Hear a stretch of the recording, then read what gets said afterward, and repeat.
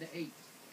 Inside the Hall on Jalon Williams, and Hall knocks down the Nice move as he drops his left shoulder, drop step with his left, and